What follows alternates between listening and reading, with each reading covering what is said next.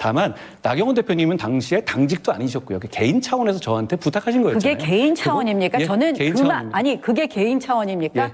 저는 27명의 제가 제 것만 빼달라 그랬습니까? 한동훈 후보 똑바로 말하세요. 개인 차원이라고요, 제가? 예. 제 거를 빼달라 그랬습니까? 예. 네? 네? 예. 저를 이렇게 모욕하실 수 있습니까? 아니, 제가 27명의 의원들이 기소되었고, 우리 거를 공소 취소하려면 야당 의원도 같이 공소 취소를 해야 되니까, 그걸 같이 해달라는 이야기 나오니? 아니었습니까? 나오니? 제 것만 뺄 수 있습니까? 나오니? 지금 개인 차원의. 부탁이요? 개인 사건. 당사자가 자, 법무부 장관에게 사건 내용을 공소 취소에다가 요구하는 건 잘못된 겁니다. 그걸 받아줄 수는 없어요. 자, 그걸 국민들이 보고 그러니까 다른 국민들이 그러면 자기 사건에 대해서 법무부 우리 장관에게 뭐, 그럴 뭐 수 지금 있습니까? 당 대표가 되면 당 대표가 되면은 자 지원 유세 다니시면서 이조 심판론 말고 어, 그 지역에 맞는 공약들을 좀 충실하게 하셨는지 한번 어, 말씀해 기억을 잘 못하시네요. 주시겠습니까? 나 후보님 지- 지역구를 제가 여러 번 갔죠.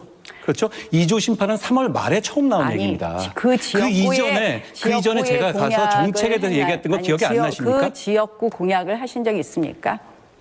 제가 당연히 있습니다. 말씀은 당연히 제가 제공받아서 한 적이 있는데요. 저는 너를 저를 어, 너무 쉽게 폄훼하시는 것 같아요.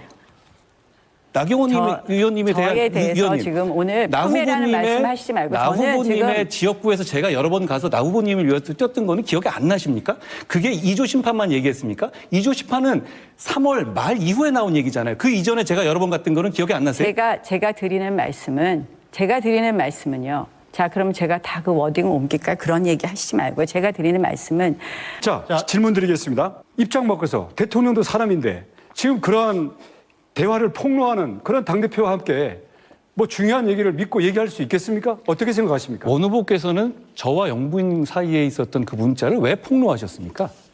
왜 그걸 원 후보 측에서 그걸 자, 지금도 냈습니까? 똑같은 방식이에요. 아니요, 아니요. 아, 대답을 하면 되는데 굉장히 중요한 얘기이기 때문에 꼭 말씀드리는 역공을 해서 거예요. 예. 뭐좀 다른 사실을 다시 답을. 폭로하려고 하시는데요. 답을 해보시죠. 자, 아닙니다. 답을 해보세요. 자, 우리 윤상현 후보에게 묻겠습니다. 원희룡 후보께서는 동지시켜야 한다. 동지란 말- 말씀 많이 하시는데요. 25년 정치 경험도 많이 말씀하십니다.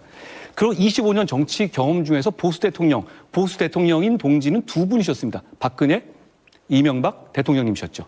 그런데 그 두 분 다 몰아내자고 하셨던 분입니다. 그런데 두 번 그러신 분이 세 번 안 그러실 거라고 어떻게 우리가 믿을 수 있습니까? 말은 이렇게 하지만 자, 과거에 저는- 과거에 박근혜 대통령님은 탄핵해야 된다고 했고 이명박 대통령님은 그 이 출당 탈당해야 한다고 스스로 말씀하신 겁니다.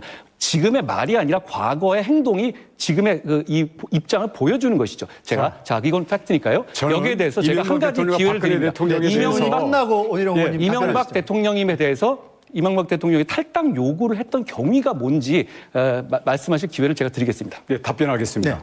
저는 이명박 대통령과 박근혜 전 대통령을 구속시키지 않았습니다. 35년 구형을 자기가 공판 검사도 아니면서 그 구형의 순간에 아까 원희룡 후보가 저한테 말씀하신 받기 그 위해서 같은데요? 일부러 법정에 답변 먼저 들어가서. 공판 구- 그 구형 공판을 하지도 않았습니다. 우리 정치 안에서는요 여러 가지 정치적인 해법을 놓고서 뭐 탈당 뭐 여러 가지 안이 있을 수 있는 거지만 당시에 그러니까.